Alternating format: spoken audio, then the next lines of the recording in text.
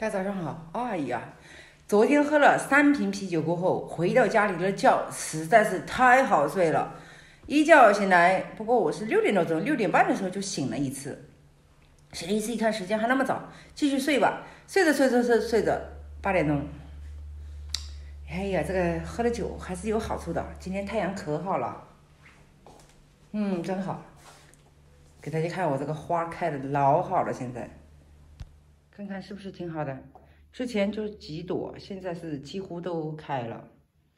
从这边看也行，是吧？我觉得挺好的，也不知道缺不缺水。好了，我赶紧要去上班喽，吃午饭喽。这个是昨天的，这个是今天我把那个昨天那天我弄的这个还有嘛提拔，然后这就是波兰的香肠，看着还不错，有点像哈尔滨的红肠。到家了，我们家的掌柜的也回来了。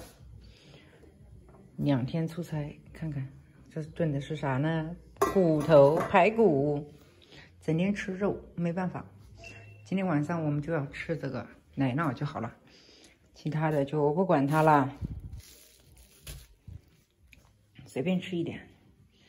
中午吃多了，我们家他还在工作呢，忙的要死。看看我老公就吃这个。他说他中午吃多了，我吃啥呢？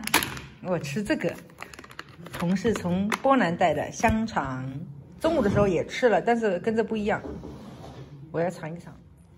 看看这个是这样子的，里头肉我还是看着挺明显的，这这不认识。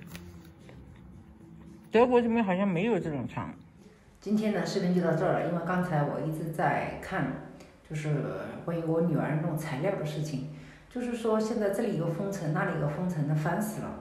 我再想想看，让我女儿和我前夫亲自到沈阳去一趟，给我办材料的这个女的，就是办就是签证这个女的跟我讲，她说让我女儿到上海去。你说东北到上海去挺远的，而且你说她上学呢，动不动就被封城了，隔离什么的也不方便。所以呢，我决定不要让她办理了，让她自己。让我前夫带着我女儿自己去大使馆去办理吧，我们可以在这德国给他预约时间，希望一切能好吧。好了，今天视频就到这了，每个人都有自己的愁心事，咱们明天见吧，拜拜。